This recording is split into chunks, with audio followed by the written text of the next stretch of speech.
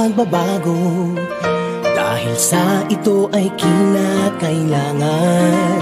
Tayo na magtulong-tulong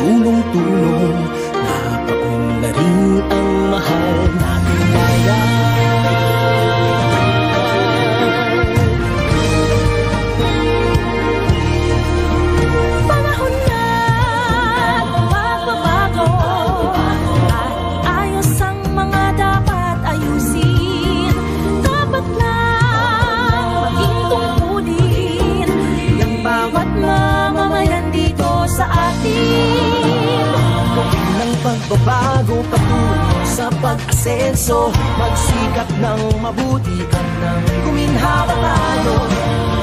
Malaki natin sa mundo at ipamalas At bagong Pilipino, at bagong Pilipino.